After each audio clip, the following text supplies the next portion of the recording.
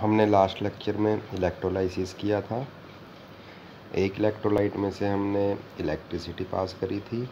वो अपने आइंस में डिसोसिएट हुआ था और जो अपोजिट आइंस हैं, जैसे इलेक्ट्रोलाइट है, उसमें पॉजिटिव आयन भी होते हैं और नेगेटिव आयन भी होते हैं। तो वो दोनों रिस्पेक्टिव इलेक्ट्रोड की तरफ़ मूव करेंगे प्लस वाला कैथोड की तरफ़ मूव करेगा और माइनस वाला एनोड की तरफ़ मूव करेगा और वहाँ पर क्या हो जाती है उनकी ऑक्सीडेशन और रिडक्शन ठीक है? कैथोड पे रिडक्शन होएगी और एनोड पे क्या होगी?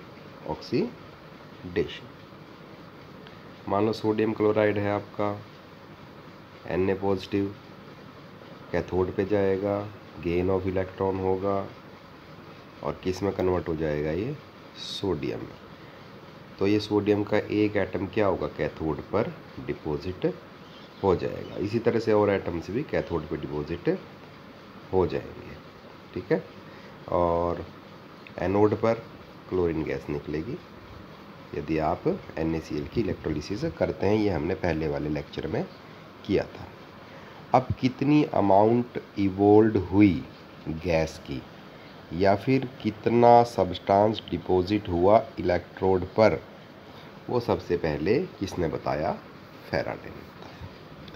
तो फेराडे ने क्या कहा कि the amount of any substance deposited और liberated at an electrode is directly proportional to quantity of electricity passed through the electrolyte कि जो मास डिपॉजिट हुआ है सब्सटेंस का, वो डिपेंड करेगा कि आपने कितनी देर के लिए इस सॉल्यूशन में से इलेक्ट्रिसिटी पास की है। सीधी सी बात है, ज़्यादा देर के लिए इलेक्ट्रिसिटी पास करोगे तो कैथोड और एनोड पे ज़्यादा देर तक चार्ज रहेगा नेगेटिव और पॉजिटिव।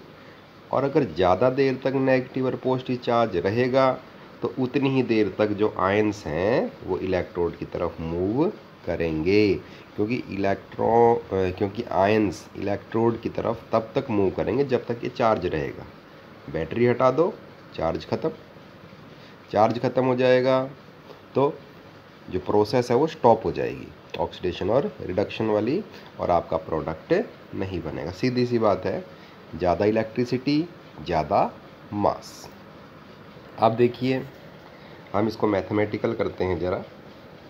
तो let W gram of substance ये हमारा डिपॉजिट हुआ किसी भी इलेक्ट्रोड पे, ठीक है? और क्यू है coulombs of electricity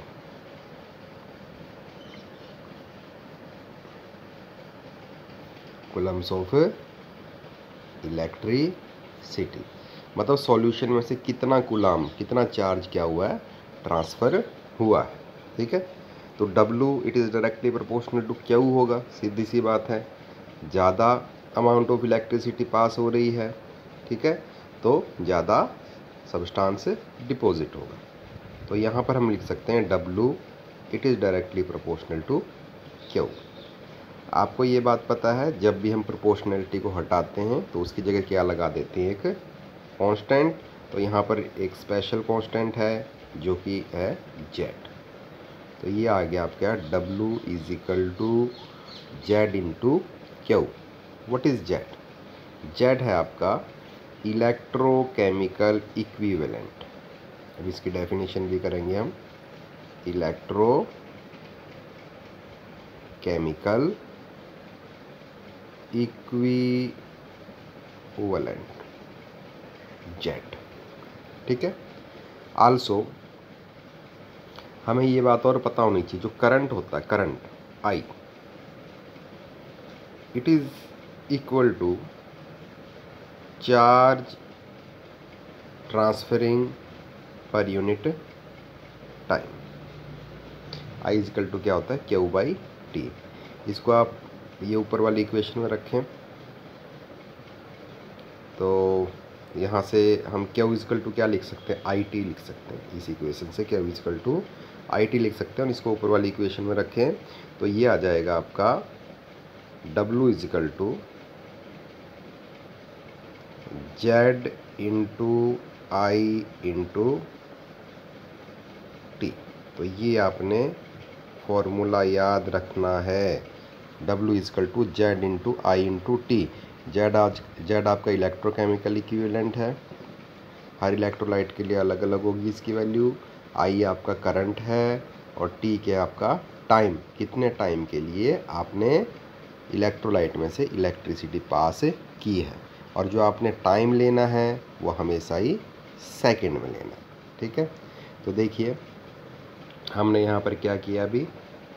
जो फॉर्मूला है वो हमारा ये आया W is equal to Z into I into T अब हम डेफिनेशन लिखेंगे जेड की इलेक्ट्रोकेमिकल इक्विवेलेंट की। एक नंबर की आ जाती है डेफिनेशन तो इसमें देखिए, यदि आई जो करंट सॉल्यूशन में से पास किया जा रहा है, यदि वो मैं कितना लूँ? एक एम्पियर, और टी इजकल टू कितना लूँ? वन सेकेंड लूँ, ठीक है? इन दोनों वैल्यूज़ को इसमें पुट करो तो ये क्या आ जाएगा? W is equal to Z into one into one तो डब्लू इजकल टू किसके बराबर आ गया? देखो जेड डब्लू क्या है? It is the mass deposited और लिबरेटेड गैस है तो लिबरेटेड अगर सॉलिड है तो डिपोजिटेड ऑन द इलेक्ट्रोड ठीक है? और जेड क्या आपका? इलेक्ट्रोकेमिकल इक्विवेलेंट दोनों बराबर होंगे। कब बराबर होंगे दोनों? जब हम एक एम्पियर करंट इलेक्ट्रोलाइट में से पास करें, कितनी देर के लिए? एक सेकंड के लिए। तो जो मास डिपॉजिटेड है किसी भी इलेक्ट्रोड पर, वो इक्वल होगा किसके? उसके इलेक्ट्रोकेमिकल इक्वी वेलेंट के। ठीक है? वो ये डेफिनेशन आ गई आपकी। कि the electrochemical equivalent of a substance may be defined as the mass of the substance deposited और लिबरेटेड और लिख लेना। When a current of one ampere is passed through the solution for one second ये था आपका Faraday का first law अब बात करते हैं फेराडे की सेकंड लॉ की। तो फेराडे का सेकंड लॉ क्या कहता है? देखिए, पहले ये डायग्राम समझ लें आप। दो सॉल्यूशन हैं इसमें, दिखाई दे रहे हैं आपको ए जी एन ओ थ्री और C U S O four दोनों एक ही बैटरी से जोड़ रखे हैं। एक ही बैटरी से जोड़ रखे हैं दोनों, ठीक है? अगर दोनों एक ही बैटरी से जोड़ रखे हैं तो इसका मतलब दोनों में से जो अमाउंट ऑफ़ इलेक्ट्रिसिटी होगी, वो होगी सेम दोनों के इलेक्ट्रोड्स पे मास डिपॉजिट डिपॉजिट होगा। तो किस पर ज़्यादा होगा, किस पर कम होगा, ये बात किसने बताई? फेराडे के सेकेंड लॉ तो फेराडे के सेकेंड लॉ ने क्या कहा कि यदि हम same amount of electricity if same amount of electricity is pass through the solution of different electrolyte connected in series the weight of the substance deposited at their electrodes is directly proportional to their equivalent weight. अगर आपके substance का equivalent weight ज़्यादा है तो substance ज़्यादा deposit होगा, और अगर कम है तो कम डिपॉजिटेड होगा, ठीक है? जैसे ये सिल्वर और कॉपर सल्फेट है तो सिल्वर नाइट्रेट सिल्वर नाइट्रेट में कौन से आयन हैं? ए पॉजिटिव ठीक है? तो आयन का हम इक्विवेलेंट मास कैसा निकालते हैं? उसका जो भी आपका आयन है, उसका मास उसका एटॉमिक मास अपॉन चार्ज कितना? चार्ज है कैटाइन पे। देखिए सिल्वर पे कितना चार्ज है? प्लस वन और जो सिल्वर का मास होता है, वो होता है आपका एक सौ आठ ग्राम। एक सौ आठ बटे एक। ठीक है? आठ सौ, एक सौ आठ बटे एक तो कितना आया आपका? एक सौ आठ ग्राम ही आया। ठीक है?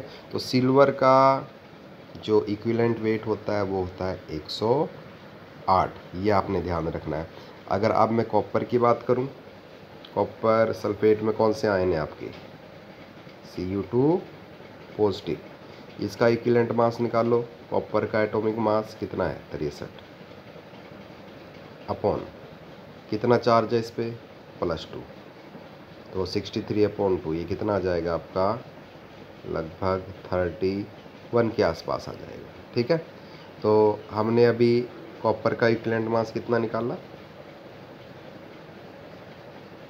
कितना निकाला? थर्टी वन के आसपास, ठीक है थर्टी वन पॉइंट फाइव और सिल्वर का इक्विलेंट मास कितना निकाला हमने? ये निकाला हमने एक सौ आठ। तो यदि इन दोनों सॉल्यूशंस में से मैं इलेक्ट्रिसिटी पास करूँगा तो सिल्वर का ज़्यादा मास डिपॉजिट होगा और कॉपर का कम मास डिपॉजिट होगा, क्योंकि सिल्वर का जो इक्विलेंट मास है, जो इक्विलेंट वेट है वो ज़्यादा है और कॉपर का इक्विलेंट वेट कम है। चलिए, पैराडाला को कुछ आगे बढ़ाते हैं। मेरे पास एक इलेक्ट्रोलाइट है सोडियम क्लोराइड एक्वस है, ठीक है? इसमें कौन कौन से आयन प्रेजेंट हैं? सोडियम आयन और क्लोराइड आयन तो जब इलेक्ट्रिसिटी पास की जाएगी तो सोडियम आयन मूव करेंगे किसकी तरफ़? कैथोड की तरफ़, ये बात आपको पता है। वहाँ पर क्या होगी? रिडक्शन, गेन ऑफ़ इलेक्ट्रॉन और वो सोडियम एटम के रूप में क्या हो जाएगा? इलेक्ट्रोड पर डिपॉजिट हो जाएगा, कैथोड पर। अब आप देखिए, एक एटम जब डिपॉजिट हुआ सोडियम का तो कितना चार्ज ट्रांसफ़र हुआ? एक इलेक्ट्रॉन ट्रांसफ़र हुआ और एक इलेक्ट्रॉन पे कितना चार्ज होता है? 1.6 point six into ten raise to power minus nineteen coulomb okay अब मान लो, मुझे सोडियम करना है one mole deposit one mole का क्या मतलब हुआ? कितने एटम्स आप सभी को पता है? Six point zero two two into ten raise to power twenty three atoms एक मोल हुआ, ठीक है? वन एटम के डिपॉजिट होने में तो कितना चार्ज चाहिए था हमको? One point six into ten raise to power minus nineteen coulomb और अगर मैं बात करूँ, एक मोल मुझे डिपॉजिट करना है मतलब इतने एटम्स मुझे डिपॉजिट करने हैं। किस पर? मेरे इलेक्ट्रोड्स पर। तब कितना चार्ज ट्रांसफ़र होगा, देखो। इन दोनों को मल्टीप्लाई कर दो 1.6 point six into ten raise to power minus nineteen into six point zero two two into ten raise to power twenty three. यदि आप इनको मल्टीप्लाई करोगे तो ये वैल्यू आएगी nine, six, four, eight, seven coulomb और इनको हम नियरली इक्वल टू लिखते हैं न्यूमेरिकल्स में जो यूज़ करते हैं, वो nine, six, five, zero zero coulomb और इसको बोलते हैं हम वन फेराडे। ये जो क्वांटिटी है nine six five zero zero coulomb इसको बोलेंगे हम, क्या बोलेंगे इसको? वन फेराडे यदि इतना चार्ज ट्रांसफ़र हो रहा है आपका इलेक्ट्रोलाइट में से तो वो क्या होगा आपका? वन फेराडे इसका मतलब ये है कि अगर मैं वन फेराडे इलेक्ट्रिसिटी पास करूँ सॉल्यूशन में से तो सोडियम मेरा कितना डिपॉजिट होगा? वन मोल चलिए, एक बार एक उदाहरण और लेते हैं। जैसे आपका कॉपर है C U C U two positive copper sulphate में ये आइंस हैं, कैथोड पे रिडक्शन होएगी प्लस टू इलेक्ट्रॉन्स किसमें कन्वर्ट होगा वो? कॉपर में, और वो डिपॉजिट हो जाएगा आपके इलेक्ट्रोड पर। देखिए, एक एटम कॉपर का, एक एटम जब हमें डिपॉजिट करना है तो कितना चार्ज ट्रांसफ़र हो रहा है बताइए? टू इंटू, दो इलेक्ट्रॉन है ना? तो 1.6 point six into ten raise to power minus nineteen coulomb इतना चार्ज ट्रांसफ़र हो रहा है, ठीक है? अब यदि मुझे कॉपर डिपॉजिट करना है वन मोल वन मोल का मतलब six point zero two two into ten raise to power twenty three. इतने एटम डिपॉजिट करने तब कितना चार्ज ट्रांसफ़र होगा? देखो, एक एटम में तो इतना चार्ज ट्रांसफ़र हो रहा है। Two into one point six into ten raise to power minus nineteen और वन मोल के लिए कितना होगा? इससे मल्टीप्लाई हो जाएगा। तो two into one point six into ten raise to power minus nineteen into six point zero two two into ten raise to power twenty three और ये क्वांटिटी अभी हमने पीछे करी थी, जिसकी वैल्यू कितनी आ रही थी? Nine six five zero zero coulomb. हमने इसको क्या कहा था? One Faraday. कहा था कि नहीं कहा था? ठीक है? तो यहाँ पर कितना आ जाएगा? ये टू इंटू, इसको मैं वन फेराडे लिख रहा हूँ तो T into F, two F two F Faraday. तो अगर कॉपर का एक मोल आपको डिपॉजिट करना है तो कितना फेराडे चाहिए आपको? दो फेराडे। ये आपने ध्यान रखनी बात। ठीक है? अगर मैं एल्यूमिनियम की बात करूँ एल्यूमिनियम में क्या होगा? सेम उसी तरह से, बिल्कुल। एल्यूमिनियम की रिडक्शन कैसे होगी? एल्यूमिनियम में कौन से आयन होते हैं आपके? ए एल थ्री पॉजिटिव बनाता है एल्यूमिनियम के साल्ट्स ठीक है? एक एटम अगर डिपॉजिट होगा इसका इलेक्ट्रोड पे तो कितने इलेक्ट्रॉन चाहिए? तीन, ठीक है? तो ये क्या बन जाएगा आपका? ए एल तो एक एटम के डिपॉजिट होने में कितना चार्ज चाहिए?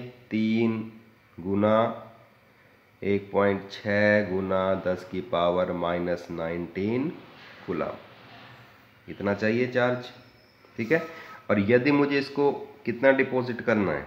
एक मोल डिपॉजिट करना है तो ये किससे मल्टीप्लाई हो जाएगा? इसी तरह से 1.6 point six into ten raise to power minus nineteen, one mole deposit करना है। ये जो है, ये तो है जब एक एटम डिपॉजिट करना है, तब चार्ज ट्रांसफ़र और जब वन मोल करना है तो मल्टीप्लाई हो जाएगा six point zero two two into ten raise to power twenty three से। तो ये देखिए, ये टर्म उसी तरह से, ये क्या हो गया आपकी? फेराडे तो कितना फेराडे यूज़ हुआ इसमें? थ्री फेराडे यदि आपको एल्यूमिनियम का एक मोल डिपॉजिट करना है तो आपको कितनी इलेक्ट्रिसिटी चाहिए? थ्री फेराडे एल्यूमिनियम का एक मोल, कितने के बराबर होता है? सत्ताईस के? मोल किसके बराबर होता है? एटॉमिक मास के बराबर। तो एल्युमिनियम 27 ग्राम तो 3F अगर मैं तीन फेराडे अगर मैं इसको खोल के लिखूँ इस बात को तो तीन फेराडे का क्या मतलब हुआ? तीन गुना छियानवे पाँच सौ गुलाम एक फेराडे में इतने गुलाम होते हैं, छियानवे पाँच सौ। तो कितना फेराडे हुआ आपका? तीन फेराडे चाहिए ना तो कितना गुलाम बनेगा? एल्यूमिनियम का एक मोल डिपॉजिट होने में। तीन गुना नौ छः पाँच ज़ीरो ज़ीरो गुलाम इन दोनों को मल्टीप्लाई कर दो तो वो आ जाएगा आपका कितना? चार चाहिए। ठीक है? सोडियम का कितना होता है? तेईस। सोडियम में एक ही इलेक्ट्रॉन इन्वोल्व था तो उसमें चाहिए था आपको सोडियम का एक मोल डिपॉजिट होने में वन फेराडे वन फेराडे का मतलब छियानवे पाँच सौ गुलाम अगर मैं इसको जनरलाइज करूँ, कि मेरे पास एक आयन है जिस पे जो चार्ज है एन पॉजिटिव ठीक है? और एन इलेक्ट्रॉन इन्वॉल्व हो रहे हैं। एन इलेक्ट्रॉन क्या हो रहे हैं? इन्वॉल्व हो रहे हैं रिडक्शन में, ठीक है? ये बन गया आपका एम मेटल बन गया, ठीक है? मेटल का एक एटम कोई भी सब्सटेंस हो सकता है, एक एटम डिपॉजिट हो गया इलेक्ट्रोड पे, ठीक है? सोडियम में एक इलेक्ट्रॉन इन्वॉल्व हो रहा था वन फेराडे चाहिए था। डिपोजिशन के लिए, वन मोल ऑफ़ सब्सटेंस के लिए। कॉपर में दो इलेक्ट्रॉन इन्वॉल्व हो रहे थे, दो फेराडे चाहिए था। ठीक है? और यदि किसी आयन की रिडक्शन में एन इलेक्ट्रॉन इन्वॉल्व हो रहे हैं तो उस सब्सटेंस के एक मोल के डिपोजिशन के लिए हमें कितनी इलेक्ट्रिसिटी चाहिए? एन एफ़ एन एफ़ का मतलब एन फेराडे ओके?